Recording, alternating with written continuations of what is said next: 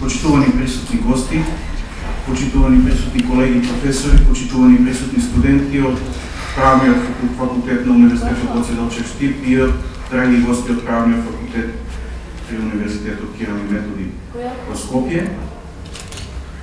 Денеска имаме една трибина која што се однесува воедно и сумирање на завршни активности кои што се однесуваат на заеднички истражувања и настани кои што ги организираат трите правни факултети, правниот факултет при Универзитетот Гоце во Штир, правниот факултет Јустинијан Први при Универзитетот Кирил Методи во Скопје и правниот факултет при Државниот универзитет во Тетово. Оправдано одсутни се поради неодложни обврски гостите од Тетово. Јас само накратко ќе сумирам оно што го работевме. Ние на правниот факултет при Универзитетот Гоце во Штип во рамките на Центарот за правно-политички истражувања. Јас сум Лазаревски Никола, студент сум на правниот факултет на Универзитетот Гоце Делчев во Штип. Сакам да изразам голема благодарност до трите учесници и трите реализатори а, со помош на мисијата на ОПСЕ во Скопје. Значи тоа се а, Центарот за правно политичко истражување а, при правниот факултет во Штип и понатаму правниот факултет на Државниот универзитет во Тетово и правниот факултет Јустинијан Први од Скопје. Значи ова значи тема на оваа презентација е влијанието на стереотипите за дискриминација, говор на омраза и криминална одговор на омраза. Значи ова значи ова истражување се базира на анкета, односно на прашалник кој што значи се опфатени три региони, значи северозападен регион кој покрива Гостивар и Тетово со универзитетот и средните училишта, понатаму Скопје со значи средните училишта, Штип, Виница и Струмица исто така со средните училишта испитани се околу 500, над 519 испитаници, значи,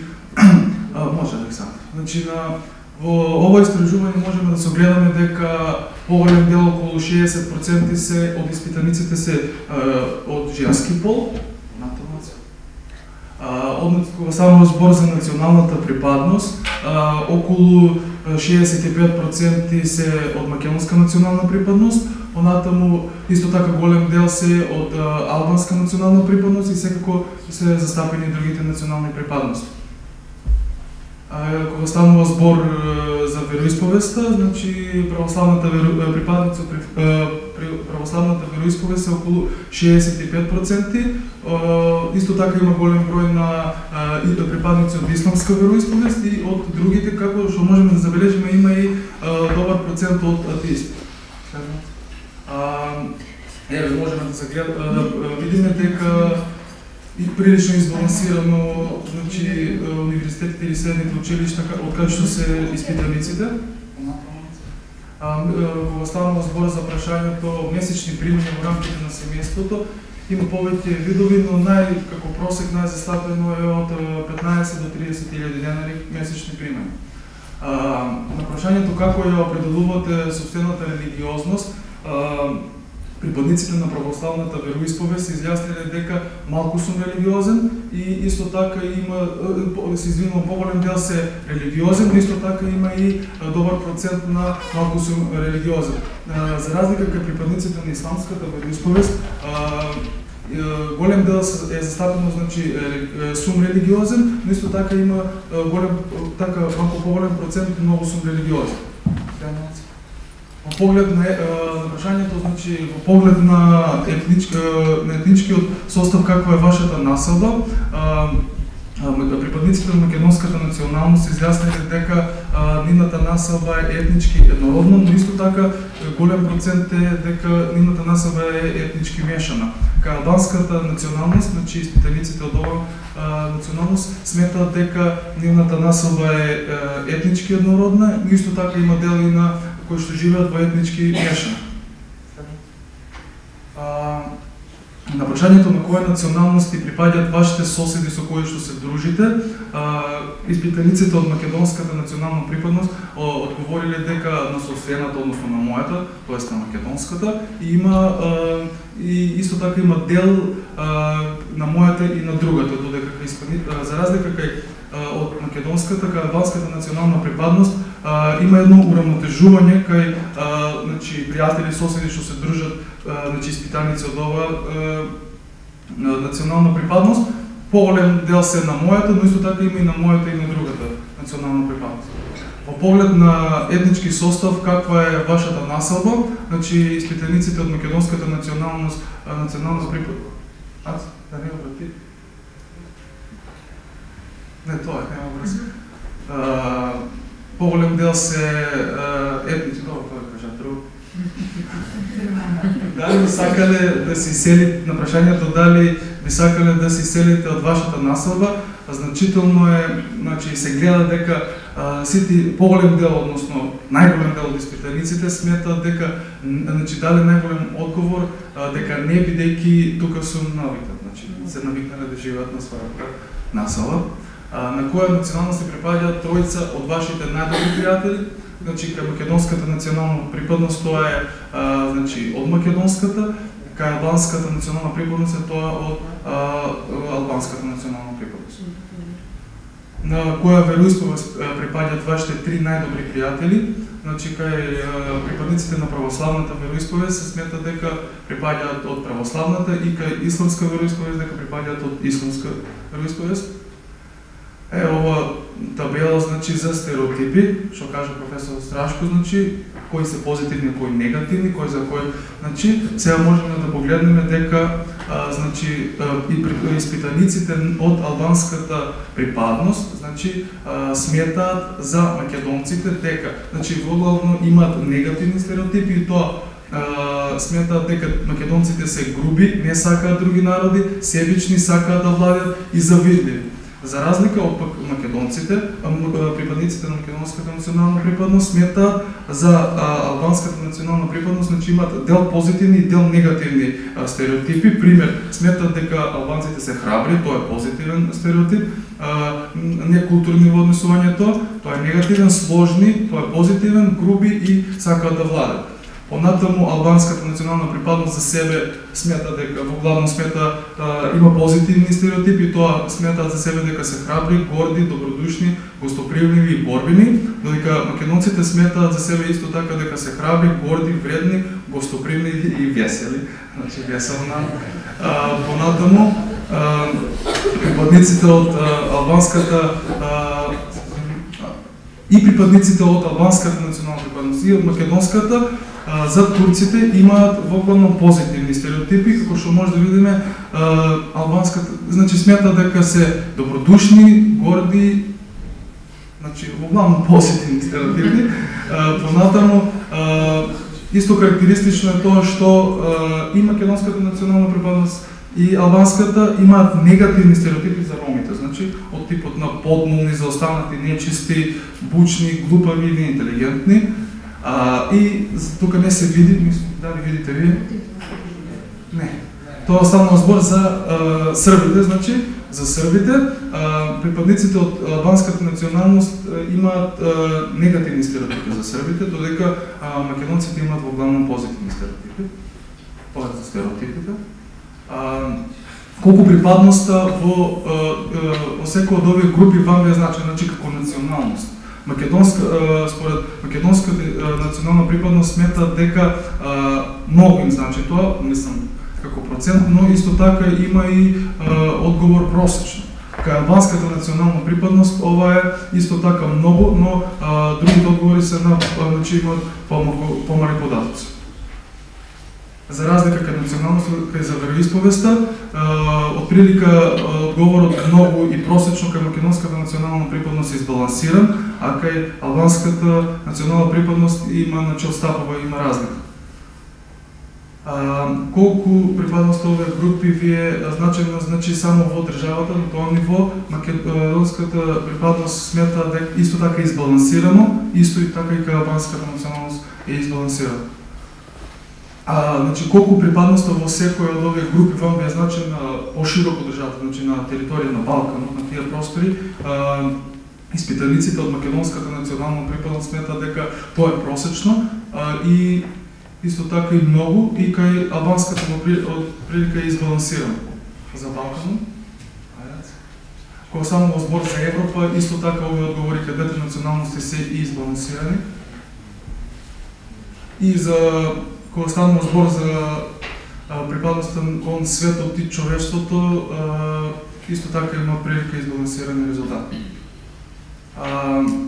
На прашањето која култура според вашата процека е најагресивна во однос на останатите присутни во нашата средина, а, испитаниците од македонската национална припадност сметаат дека тоа е токму албанската. Но исто така има и мал дел можете да забележите и на ромската. За разлика кај испитаниците од албанската национална припадност, а, тие сметаат дека нај најагресивна култура во нашето општество е токму српската култура. А, толку од мене се нареден дел ќе го дадам на Александар Симонов. Никола зборуваше за чувството за припадност, како и за стереотипите кои овие земјаци имаат едни кон други. она што јас ќе го зборувам ќе биде во однос на дискриминацијата, говорот на омраза и криминалот од омраза. Врз односот на дискриминација врз основа на етничка припадност и кај македонската, и кај, кај испитаниците од албанска национална припадност доминираат ставовите дека ваквиот вид на дискриминација е прилично честа, да, честа и пак многу честа со тоа што кај македонците доминира ставот дека е прилично честа, а кај албанците доминира ставот дека е многу честа. Дискриминација врз основа на пол, а кај испитаниците од македонска национална припадност најглавно во смета дека ваквиот вид на дискриминација не постои или е многу ретка, додека кај припадниците на албанската национална припадност имаат во главно во изедначени ставови од она што е понудено, но се издвојува малку, благо се издвојува ставот дека ваквиот вид на дискриминација е прилично честа. А, дискриминација врз основа на сексуална ориентација, а, на прв печаток мислам дека ова ќе биде податокот во кој имаме најголема дискриминација, а, кај испитаниците од македонска националност припадност најмногу доминира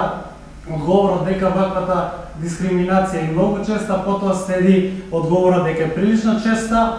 честа, а оно што изненадуваше кај кај албанската етничка заедничка е тоа дека одговорот дека ваквиот вид на дискриминација не постои доминира над одговорот дека ваквиот вид на дискриминација е многу честа.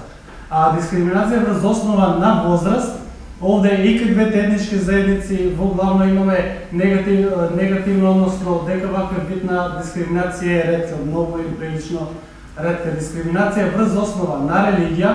Овде имаме дека едни, едните и други ставови дека имаме високо ниво на дискриминација врз основа на религија, од тоа што кај македонските испитаници доминира става дека ваквиот вид на дискриминација е многу честа, а, дека е прилично честа, а кај албанците доминира става дека ваквиот вид на дискриминација е многу честа. Дискриминација врз, врз основа на попреченост ментална или телесна, на повторно имаме доминирање на ставовите дека ги дека имаме ваков вид на дискриминација со тоа што кај македонците доминира ставот дека е многу честа, кај албанците доминира ставот дека ваквиот вид на дискриминација е прилично честа.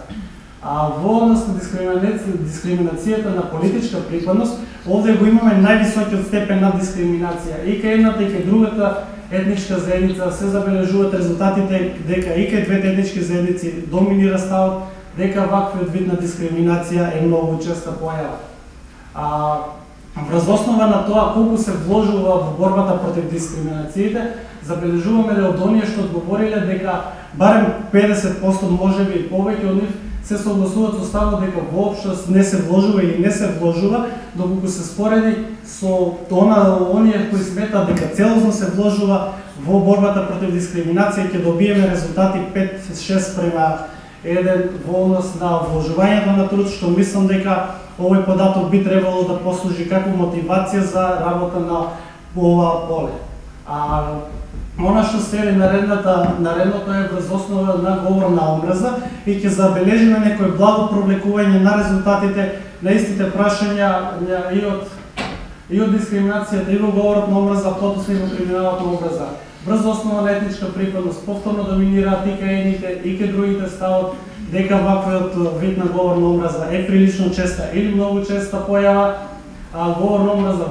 врз основа на пол дом, кај доминираат ставовите кај македонската национална припадност дека не постои или е многу ретка, додека кај албанската та имаме некаде изедначеност во оние што мислат дека е ретка ова појава. Говор на омраза врз основа на сексуална ориентација, повторно забележуваме како што беше кај дискриминацијата, така и кај говорот на омраз. Македонците имаат високо мислење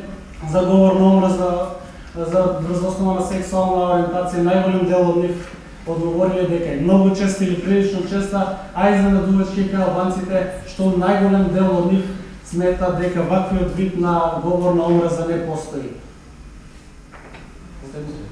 А говор на омраза врз основа на возраст се провлекува и како дискриминацијата и овде се слични резултатите кај најголем дел од испатиеници од двете етнички заедници сметаат дека ваквиот вид на дискриминација не постои или е многу ретка. Дискриминација, говор на омраза врз основа на религија или уверување е кај македонците доминира ставот дека дека ова е прилично честа појава, додека кај албанските испитаници забележуваме некаде изедначеност на резултатите од оние кои сметат дека е многу честа или прилично честа. А говорот на омраза во врз основа на физичка или ментална попреченост, а имаме некаде прилично различни мислења во во овој поглед каде што се изедначени некаде сите понудени ставови да се изберат, со тоа што е забележително дека кај македонската да, да, национална припадност доминира ставот дека е многу честа, додека па кај албанците доминира ставот дека не постои. А, говорно на за во Република Македонија врз основа на политичка припадност имаме највисоко ниво на говорно образ, да повторно кај политиката, како што беше со дискриминацијата, може би над 50% и над 60% од испитаниците сметаат дека е многу честа овој вид на говор на омраза и кај македонците и кај испитаниците од албанска национална припадност. Оно што ќе преминуваме сега е на криминалот од омраза, каде што најчесто ќе забележиме во наредните неколку слайдови а светло сина боја, во одговорот не знам со што ќе го земам тој дел ќе зборувам без да го земам тој во предвид, каде што ќе забележиме дека врз основа на етничка прикладност, криминал, омраза сметаат и македонската и националната и албанската национална припадност дека е многу честа, односно прилично честа појава. Криминал омраза врз основа на пол доминираат кај двете етнички заедници ставовите дека ваков вид на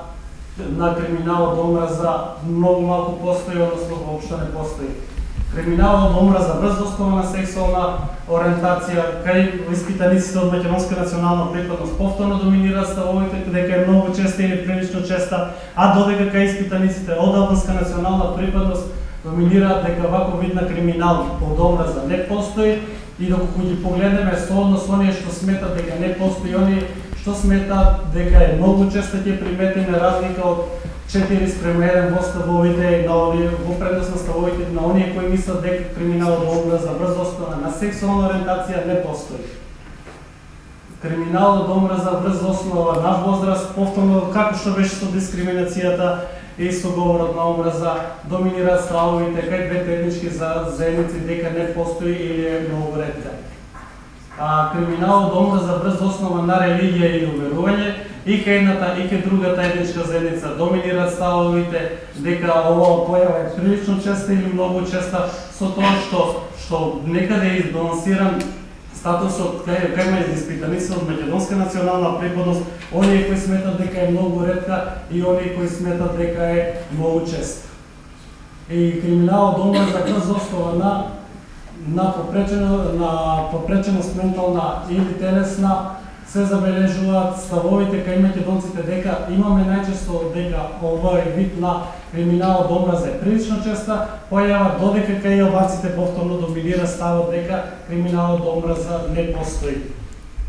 А криминал од врз политичка припадност повторно имаме доминација кога е во прашање политиката на негативна негативна конотација, многу често или прилично често се ставови кои доминираат и кај едните и кај другите и кај друга етничка заедница. Она што е забележано кај криминалот од омраза беше тоа дека имаме а, полек кој постојано доминираше освен на, на последниот слайд во светла плава боја, кој беше не знам, што предпоставувам дека укажува на фактот кога се одговарани анкетите, добар дел од испитаниците на тоа дека не знаат што представува тоа криминал од омраз или како тие тоа го гледат, а затоа најчесто ни се провлекува одговорот не, на, не знам што се однесува до стереотипите. Македонците имаат заеднички, заедничко негативни стереотипи, сите стереотипи кон ромите се негативни и кон се кон ромите се негативни, сите стереотипи кон а, турците се позитивни, она што е што е различно е тоа што стереотипите на албанците кон србите се негативни од страна на македонците. Овие стереотипи се позитивни и во однос на едни кон други албанците имаат само негативни стереотипи кон македонците, додека кај македонците се појавија во пете највлијателни стереотипи, во кои имаше најголема процентал- процентуална искаженост, два од нив беа позитивни. А,